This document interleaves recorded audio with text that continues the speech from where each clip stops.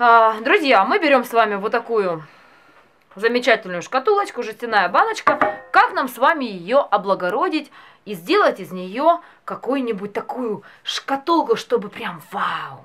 Давайте начинать. А, мы берем с вами самоотвердевающую массу для лепки. А, что нам нужно сделать? Нам нужно раскатать из нее блинчик. Делаем мы это на файле. Почему? Потому что нам потом нужно будет перенести а, это, этот блинчик а, на нашу жестяную баночку. Обрезаем кружочек а, вот этой баночкой. Той же баночкой, на которую мы будем с вами сейчас лепить. Переносим нашу массу на нашу крышечку. Оп.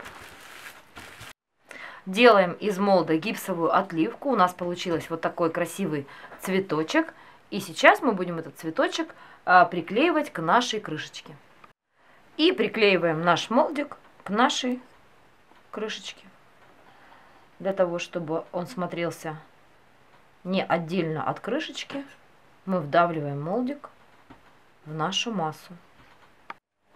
Наша крышечка высохла, и нам сейчас нужно а, забрызгать всю нашу заготовочку вместе с крышечкой и с нижней ее частью вот такой вот краской спреем.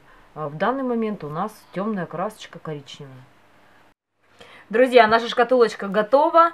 А, мы обработали ее коричневой краской а, по металлу. Вот так вот она вкусненько выглядит, как праздничный шоколадный тортик. Мы решили, что на этом мы закончим наше декорирование. Она смотрится очень-очень вкусно.